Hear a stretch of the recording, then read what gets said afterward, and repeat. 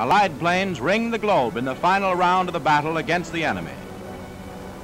Over wild Burmese jungles, the British Sunderland flying boats ferry supplies.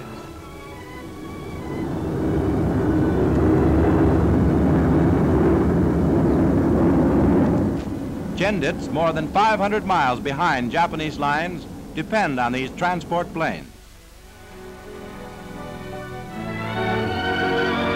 Rafts fitted with motors carry the supplies ashore to keep the famous Burmese fighting units going during the monsoon.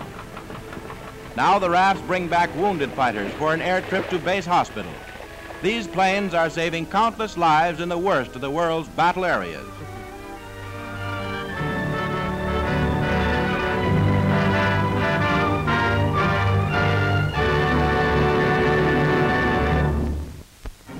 Down in the Indian Ocean, British aircraft carriers steam toward Sumatra for an assault on the port of Padang and nearby Emma Haven.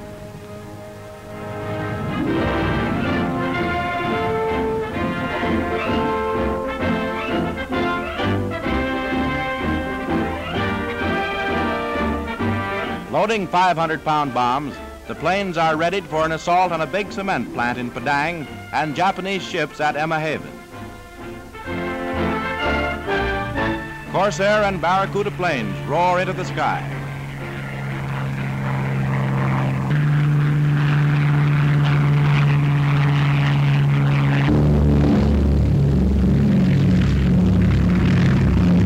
Navigators plot the carrier's course to meet the returning plane.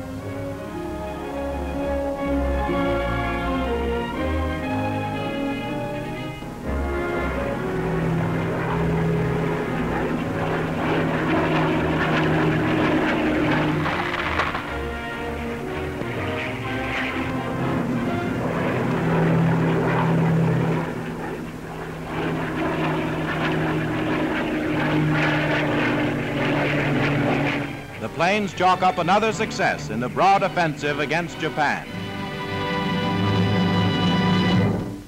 On the European front, the 8th Air Force is tearing apart the Nazi fortress and its supply lines.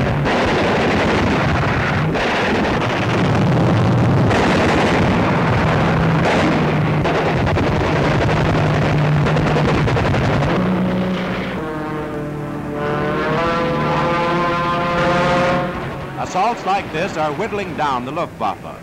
Daily, the power of the Allies increases in warfare of the skies.